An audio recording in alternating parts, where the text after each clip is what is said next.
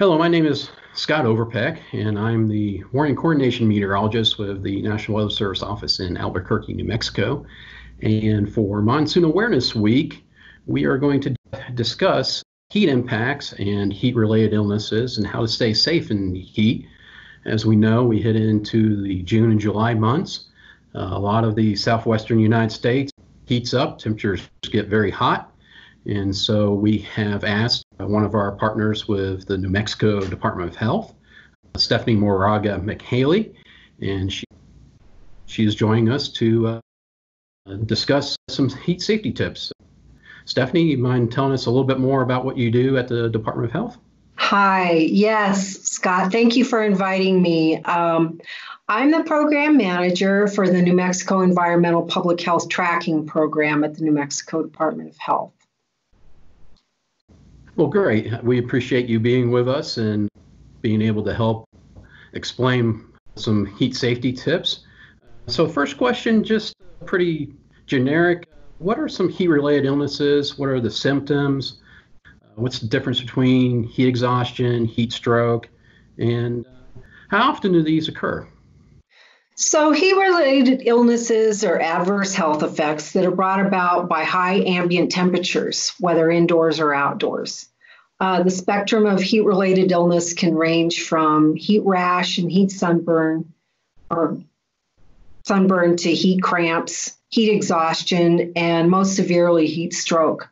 With heat exhaustion, you see heavy sweating, cold, pale, clammy skin, and a fast, weak pulse. But with heat stroke, a person's core temperature begins to rise dangerously, um, up to 103 degrees or more, and their skin will be hot and red, and they will have a fast, strong pulse, and they may act confused. Symptoms for both um, that are common include nausea, dizziness, and headache. Besides death, heat related illness can cause permanent adverse health effects such as brain, heart, and kidney damage. That's some great information. And great to to be able to keep track of your body when you're outside and those types of things. So it's good to have those kinds of things in our mind when we're working outside. Speaking of working outside, you know, it is June now, getting ready to be July, hitting that peak time that we're getting the, the hot temperatures during the summer. As we get further into July, what are some things that, uh, some advice that you can give people looking to stay safe from the heat? Well, the primary way to prevent heat related illness is to stay hydrated, stay in the shade, and take rest breaks if you're working or playing outside. And it's best to drink plain water to stay hydrated, as drinks with caffeine, alcohol, or a lot of sugar can be dehydrating.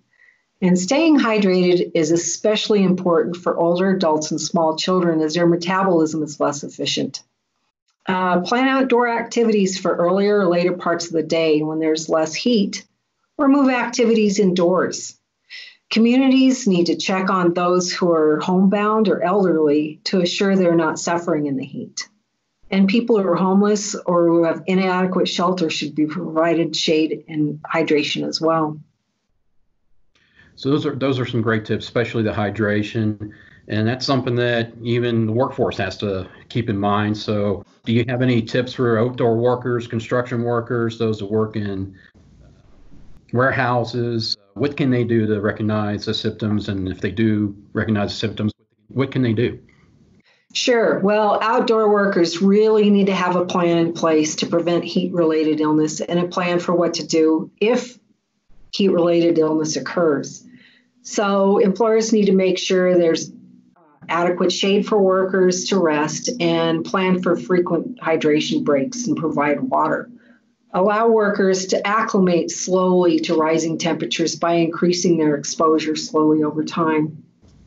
Uh, train workers on how to recognize the symptoms of heat related illness in themselves and the signs in their coworkers so they know what and have them know what to do if they experience HRI, heat related illness.